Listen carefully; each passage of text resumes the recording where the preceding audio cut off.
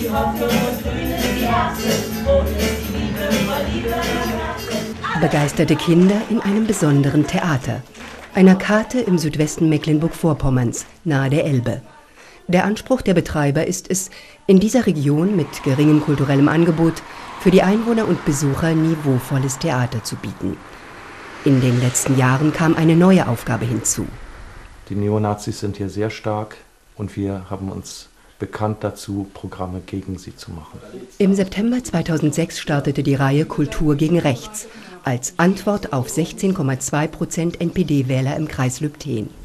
Und dann haben wir das Stück Die Nassöhner von Eugene Ionesco ähm, zuerst in unserer Schule aufgeführt vor unterschiedlichen Klassen und dann waren wir noch in anderen Schulen. Also das Stück handelt ja ein bisschen auch, wenn man es überträgt jetzt, ähm, gegen rechts. Eigentlich überall, wo wir waren, hatten wir nur positive Reaktionen gehabt. Wir möchten Jugendliche sehr in unsere Arbeit einbinden. Das tun wir jetzt auch mit unserem nächsten Sommerstück, den Sommernachtstraum von Shakespeare. Die Jahreszeiten wandeln sich. Der Frühling. Sommer. Der zeitigende Herbst. Der zornige Winter. Sie alle tauschen die gewohnte Tracht. Und die erstaunte Welt erkennt nicht mehr an ihrer Frucht und Art, wer jeder ist. Und diese ganze Brut von Plagen kommt von unserem Streit. Von unserem Zwiespalt her. Wir sind davon Stifter und Erzeuger. Am 29. Juni findet hier Shakespeares Sommernachtstraum statt. Der Wald wird dann hoffentlich äh, ein bisschen dichter und dickichter sein, als er jetzt ist im Frühling. Hinter uns werden heute die Tribünen aufgebaut für die Zuschauer. Wir werden für 250 Personen Platz haben.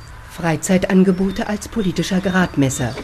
Wie viele Besucher lockt das von der NPD veranstaltete Kinderfest? Wie viele Menschen erreicht das Theater? Es gilt der weiteren Etablierung rechten Gedankenguts Einhalt zu gebieten. Gesicht zeigen, mal ganz praktisch. Die landschaftlichen Voraussetzungen sind ja gegeben, wenn hier die Elfen, Feen aus dem Wald erscheinen und das Publikum verzaubern hoffentlich.